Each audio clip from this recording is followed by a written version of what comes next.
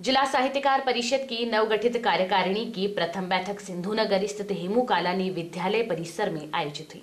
बैठक की अध्यक्षता दयाराम मेथानी ने की।